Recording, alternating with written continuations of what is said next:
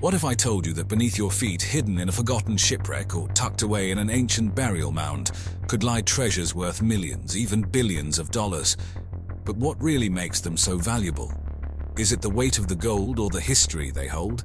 Let's take an adventurous journey through time and across continents to unearth some of the most staggering treasure finds in history, starting with a mysterious burial mound in England, the Sutton Hoo. Journey with me to Egypt 1922. Howard Carter, an archaeologist backed by the wealth of Lord Carnarvon, made one of the most significant archaeological discoveries of all time, the virtually undisturbed tomb of the pharaoh Tutankhamun. After years of fruitless digging in the Valley of the Kings, Carter's persistence finally paid off. He discovered a flight of steps that led to a sealed door and beyond it, a world untouched for over 3,000 years. Inside the tomb were four rooms filled with items that offered an invaluable glimpse into the wealth, sophistication and culture of ancient Egypt. These items, more than 5,000 in total, were meticulously recorded by Carter and his team over the course of eight years. Among the treasures were chariots, statues, a ceremonial fan, food and wine jars, and personal items of the boy king. The centerpiece was the stone sarcophagus containing three nested coffins, the final one made of solid gold. Inside lay the mummy of the young king adorned with a dazzling funerary mask of gold and lapis lazuli, considered one of the most beautiful artistic creations in the world. This mask alone weighs about 22.6 pounds of solid gold and is one of the most iconic symbols of ancient Egypt. Valuing the treasures of King Tut's tomb is an almost impossible task due to its historical, archaeological and cultural importance. However, if we were to consider just the raw materials, the price of gold alone for the burial mask would today be around $600,000. But the real value lies far beyond the cost of materials. When the treasures toured in the late 1970s, they were insured for an estimated $36 million. In today's dollars, accounting for inflation, that would be close to $144 million. But the actual value of this window into ancient Egypt is truly immeasurable. It's 1622, Spain. The Nuestra Senora de Atocha, a heavily armed galleon, set sail from Cuba back to Spain, laden with an unimaginable wealth extracted from the New World. The treasure on board included 24 tons of silver bullion, 180,000 silver coins, copper ingots, gold coins, emeralds and other precious jewels. But fate had other plans for the Atocha. Just a day after setting sail, it was caught in a furious hurricane, sinking it near the Florida Keys and taking its treasure down to the bottom of the sea. Fast forward to the 20th century, enter treasure hunter Mel Fisher. Fisher spent 16 relentless years searching for the Atocha, overcoming hardship, doubt, and the tragic loss of his son and daughter-in-law in the pursuit. His motto was, Today's the day, a testament to his undying belief that he would find the Atocha. And in July of 1985, Fisher's dream came true. They found the main pile of the Atocha, a mound of silver bars and other artifacts, the heart of the ship's lost cargo. The Atocha treasure find was enormous, the mother lode as Fisher called it. The treasure trove contained 40 tons of gold and silver, 114,000 Spanish silver coins known as pieces of eight, gold coins, Colombian emeralds, golden chains, and hundreds of other artifacts.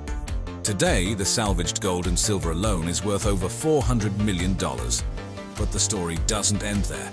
Even though the main pile of the Atocha has been found, many of the ship's precious jewels are believed to still be scattered over the ocean floor, lost to the sands of time, waiting for the next Mel Fisher to declare, Today's the day. Our final destination lies beneath the Atlantic Ocean, a world away from the Silk Road, where the story of the SS Central America unfolds, also known as the Ship of Gold, the SS Central America was a 280-foot sidewheel steamer that operated between Central America and the eastern coast of the United States during the 1850s. In September 1857, she was caught in a hurricane and sank off the coast of the Carolinas, taking with her a treasure trove that played a pivotal role in the California gold rush. The ship was carrying a hefty cargo of gold prospectors returning from California, laden with their hard-earned nuggets and coins.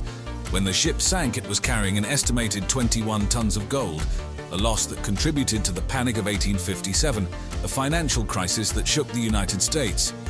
Fast forward to the 1980s. when a group led by marine engineer Tommy Thompson used evolving technology and extensive research to locate the shipwreck and recover a portion of its treasure. The treasure that they managed to bring up from the seabed included thousands of gold coins, hundreds of gold ingots, and countless gold nuggets. The exact value of the SS Central America's treasure is difficult to determine, as it depends on the weight, purity, and collector value of the individual pieces. However, the recovered gold was initially insured for $100 million when it was brought up in the late 1980s. Auctions of the treasure have since brought in tens of millions of dollars, and the full value of the recovered gold is thought to exceed $150 million.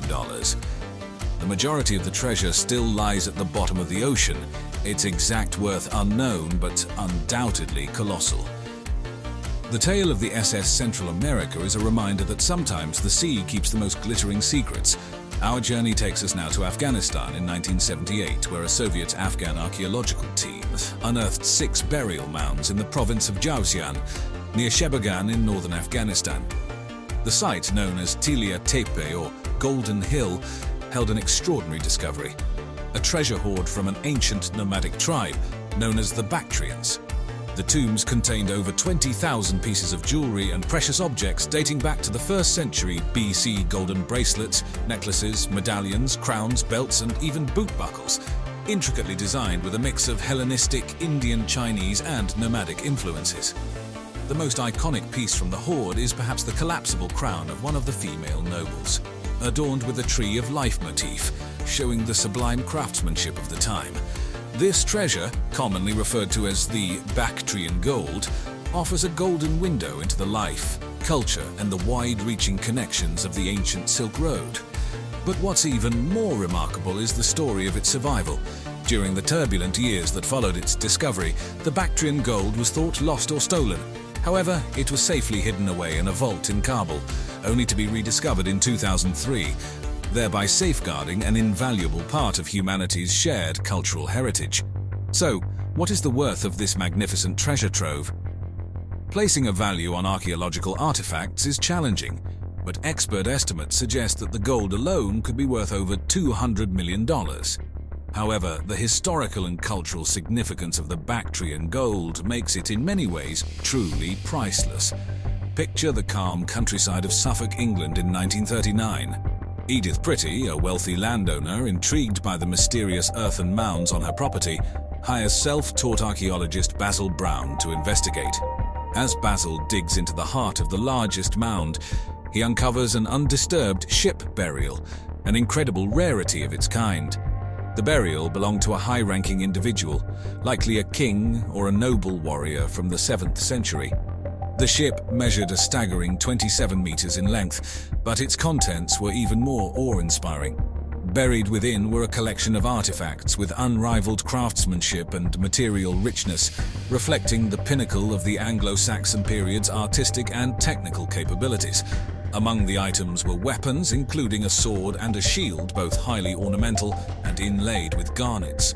More than 40 gold items were found, including a gold belt buckle that alone weighs 400 grams. Intricate shoulder clasps adorned with garnets and intricate filigree work, coins from Frankish mints, and a purse filled with gold coins were also discovered. But the most iconic find was undoubtedly the ornately decorated helmet, a symbol of sovereignty and martial prowess, restored from hundreds of fragments into a grand piece of history. Now, estimating the monetary value of the Sutton Hoo treasure is challenging because it's not just about the weight in gold, but also the historical and cultural significance, which is simply incalculable. For comparison, a single artifact from the Staffordshire Hoard, another Anglo-Saxon treasure, was valued at £3.285 million, about $4.3 million in today's terms, in 2009. And the Sutton Hoo finds are even more significant. Though we can't attach a specific dollar amount to the Sutton Hoo treasure, its invaluable insight into the Anglo-Saxon world spirituality, artistry and power dynamics makes it a priceless treasure of humanity. Stepping away from sunken ships and royal tombs, we find ourselves in the quiet town of Panagyurishte, Bulgaria. Here in 1949, Three brothers were digging clay for bricks when they stumbled upon a remarkable golden artifact, setting in motion a discovery that would shake the archaeological world. The brothers had discovered the Panagyurishte treasure, a golden hoard dating back to the 4th to 3rd centuries BC. The treasure consists of nine vessels, including a phiale, three wine jugs, and four rhytons. Each of these pieces was ornately decorated with scenes from Thracian mythology and custom, revealing the deep and rich cultural tapestry of the Thracian people. One of the most stunning pieces, the amphora rhyton, is believed to be a ceremonial vessel. Crafted in gold, it is adorned with scenes depicting a Thracian ruler and a procession of servants, warriors, and elders, giving us a glimpse into the courtly life of ancient Thracia. What's most astounding about this find is not just the gold itself, but the exceptional craftsmanship, the exquisite detailing, and the storytelling through art. The weight of the treasure is approximately 6.164 kilograms of 24 karat gold. Considering the cultural and historical value plus the raw gold value, it is estimated that the Panagyurishte treasure is worth at least $200 million. But can you really put a price on a discovery that has unlocked so many secrets of a long-lost civilization? For many, the true value of the Panagyurishte treasure is not in dollars and cents, but in its priceless contribution to our understanding of the human past so there we have it, an odyssey through time and space, chasing gold, history and the human spirit. From Sutton Hoo's ghostly ship to the sunken SS Central America, and from the Golden Pharaoh Tutankhamun's resting place to the Thracians' exquisite golden hoard in Panagyurishte, we've uncovered not just treasures but narratives, civilizations and cultures that once flourished. After all, we know the real treasure lies not in gold or gems, but in the knowledge and understanding we gain Prisons. We think of them as a modern institution, a way of punishing those who break society's rules. But did you know our ancestors also had their versions of incarceration? From Rome to Persia, from England to ancient Maya, history is filled with examples of humanity's attempts to deter and punish crime. But these weren't prisons as we know them. Let's take a journey back in time to some of the most brutal and fascinating prisons in history. How did they treat their inmates? What weird and fearsome rituals did they perform? Buckle up because we're about to delve deep into humanity's past to uncover the dark underbelly of ancient societies. The heart of ancient Rome gives us our first destination, the dreaded Mamertine prison. This centuries-old edifice, steeped in tales of brutality, provides a gruesome glimpse into how the mighty Roman Empire dealt with its enemies. You see, the Romans were no strangers to discipline, order and yes, punishment. One thing that stands out about the Mamertine prison is its structure, or rather lack thereof.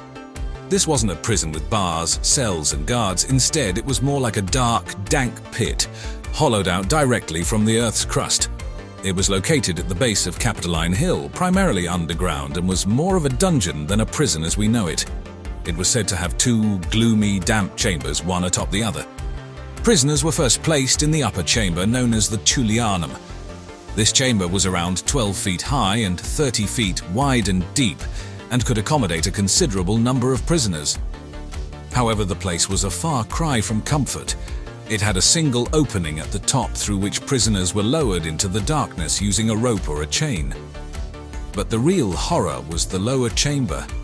At This was where prisoners who were sentenced to die were sent. In stark contrast to the Tullianum, this room was smaller, darker and suffocatingly close, known for its inhumane conditions. Historical records, some as old as 22 centuries, suggest that the Mamertine prison was often used to contain high-profile prisoners, enemies of the state. One notable inmate was said to be St. Peter, one of the disciples of Jesus Christ, who was allegedly incarcerated here before his execution. But it was not just the physical torment that made the Mamertine prison infamous. The psychological terror of being in such a place, the oppressive darkness, the dreadful anticipation of passing, and the agonizing wait for execution. These were perhaps even more tormenting than the actual physical conditions of the prison. Indeed, the Mamertine prison serves as a chilling reminder of Rome's darker side, a testament to the empire's harsh, often brutal system of justice. Let's travel further east to the ancient city of Xanthos, located in what is now modern-day Turkey but was then part of the Persian Empire. Here, the prison was not a building or even a complex, but a singular macabre artifact, the wooden horse of Xanthos. This wooden contraption, known in ancient texts as the horse, was a chilling form of both punishment and imprisonment. showcasing the truly inventive, if not horrific, forms of incarceration in the ancient world. Designed with a hollow interior, the horse served as a grotesque echo of the famous Trojan horse. However, this was not a vessel of soldiers, but a container for pain and suffering. Prisoners were placed within the horse, their bodies contorted to fit the cramped interior. Once inside, they were at the mercy of the elements with the scorching sun during the day and freezing cold at night. But the horror of the wooden horse did not stop there. It was raised high above the ground, meaning that once a prisoner was inside, escape was nearly impossible. The public humiliation, the physical discomfort, and the psychological torture of being trapped within this wooden monstrosity all contributed to making the horse a truly terrifying form of punishment. Moreover, the wooden horse was not used for long-term incarceration. Instead, it was an end-of-life sentence. Prisoners placed inside the horse rarely survived the ordeal as the grueling conditions led to exhaustion, dehydration, and eventually their untimely passing. The wooden horse of Xanthos serves as a chilling reminder of the inventive and brutal forms of punishment humanity can devise. Journeying a bit northwards, we find ourselves in the heart of London, England. It is here that one of the oldest and most notorious prisons of ancient Europe stood, the Bridewell Prison. Established in the 16th century, the Bridewell was initially intended as a palace for Henry V. However, its destiny was to become something far more sinister, transforming into a house of correction. A penitentiary for the city's beggars, vagrants and petty criminals. The building was impressive, boasting over 100 rooms and a grand courtyard, but the grandeur of the palace was a stark contrast to the harsh reality of life within its walls. Inside the Bridewell, prisoners endured a unique form of correction, one that focused on reformation over punishment. Inmates of Bridewell were made to work. Hard labor was seen as a tool of reformation, a method to correct their idle ways. The work was grueling. Women were often employed in beating hemp for making rope, while men were put to work on physically demanding tasks, all this under the stern and watchful eyes of the prison staff. Yet what truly made Bridewell infamous was the severity of its punishments. These were not just physical, but also public. Whipping, for instance, was a common form of punishment, typically administered at the whipping post for everyone to see. This served a dual purpose. It was a form of correction for the prisoners, but it also served as a deterrent for the onlookers, a chilling demonstration of what awaited those who stepped out of line. But life in Bridewell wasn't just about work and punishment. It also served as a refuge for the homeless and the destitute. Yes, it was a prison, but in a time when social services were virtually non-existent, it also provided shelter and a form of social security for those who had nowhere else to go. The Bridewell prison, despite its brutal reputation, provides an intriguing glimpse into the early evolution of the modern penal system. It was here that the concept of reformation through labour was first put into practice, a notion that for better or worse has been a mainstay of prisons around the world ever since. But let's not forget the Americas. Shifting our gaze across the Atlantic, we find ourselves in the heart of the ancient Mayan civilization, renowned for their advanced mathematics, calendar systems, and of course their brutal penal codes. Notably, we have the infamous prison of Kitala, a true testament to the harsh and fearsome world of Mayan justice. Kitala wasn't just a prison, it was an arena of punishment designed to inflict maximum suffering and disgrace. The very architecture of the prison was designed to reflect this. Deep pits, known as chultuns, were carved directly into the limestone bedrock, creating vertical prison cells from which there was no escape. But what makes Kitala so chilling is not just its physical form, but also its psychological and spiritual dimensions. The Mayans held a deep respect for the earth and believed that being buried alive was one of the worst punishments imaginable. In this light, the Chultuns of Kitala represented not just a physical incarceration, but a spiritual defilement.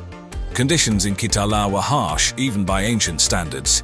Prisoners were subjected to physical and psychological torture. They were deprived of food and water, left to endure the sweltering heat, and tormented by the knowledge of their impending doom. There's also a grim irony to Kitala's purpose. The Mayans used chultuns as a method of water storage during the dry season, essential for their survival.